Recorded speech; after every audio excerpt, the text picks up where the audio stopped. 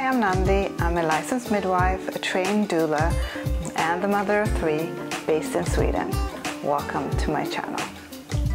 There seems to be a little confusion over the difference between home birth and unassisted birth or free birth. So I wanted to make a video focusing in on this topic and explain it a little bit further. Uh, of course, I want to bring a Swedish point of view to it as well.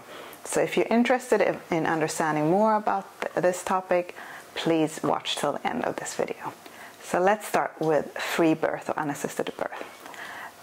So free birth or unassisted birth, I will just go with saying free birth so I don't keep on say the double the uh, thing all the time. Free birth is basically when a couple or a person giving birth decides that they do not want to have any trained medical professionals tending their birth. So this can be giving birth at home, in the woods, in the ocean, I don't know, wherever in your pool. I, I really don't know, wherever you feel you want to give birth.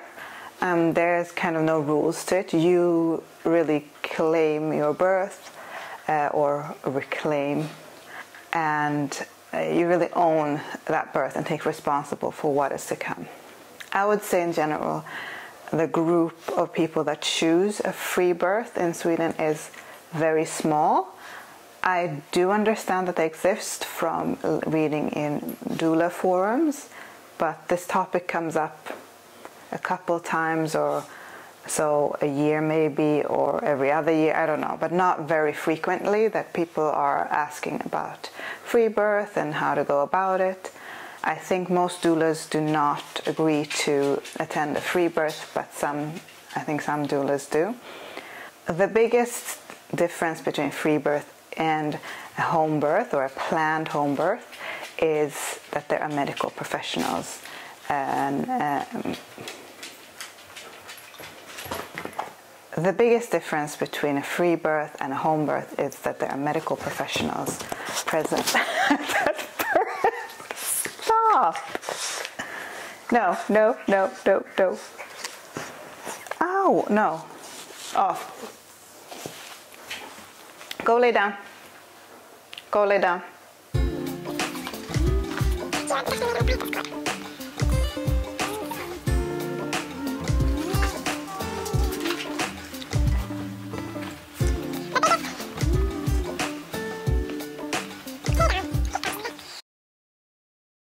The biggest difference between free birth and home birth or a planned home birth is that in, at a home birth there is medical train, trained medical professionals present, uh, namely a midwife or two. So a, a, planned home birth is quite different in that sense that you have somebody else who's taking responsible for responsibility for the birth, uh, the labor and the birth, um, to use their medical knowledge to the best ability to make sure or ensure that the person giving birth and the baby that is going to be born uh, are as safe as possible, as well as afterwards are as safe as possible. In Sweden, the home birth rate is quite low. Um, I have made a video about that. I will link it below. Of course, there are many reasons why you, can, you would want to choose a home birth. But I would say, in general, the people that choose a home birth are people that feel very comfortable with birth and feel very safe at home and want to choose who is present at their birth. Not only when it comes to the medical professionals, but maybe also uh, relatives and so on, as hospitals might limit who is allowed to attend the birth or, or be in the birthing room and how many people. Last year, the influencer uh, Yoga Girl had an unassisted birth uh, at home here in Sweden, and I think it was during summer.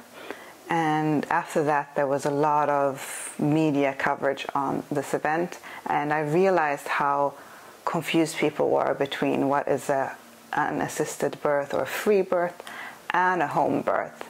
So Yoga Girl chose to do pregnancy and birth her way.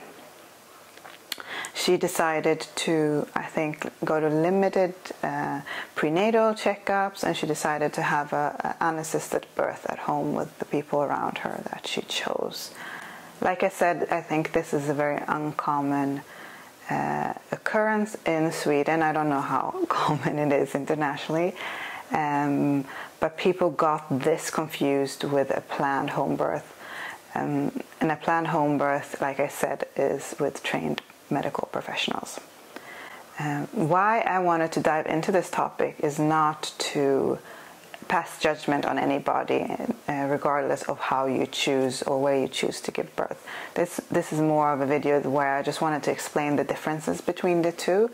I also wanted to highlight that there is a group of people that have uh, uh that have an assisted birth at home that are not planned. And sometimes uh, when you work in the labor ward or the postnatal ward, uh, we might encounter these people that have had a, a, fast delivery at home or maybe were recommended to stay at home longer than they wanted because there was a sort of shortage of space in the hospital or for whatever reason gave birth at home unassisted and then they come to the mm, uh, hospital afterwards to register the birth and get checked up and so on um, when I talk about free birth or home birth, I do not include this group of people. This group of people have not planned it, they haven't made a conscious choice to uh, do so. I just wanted to make that clear as well.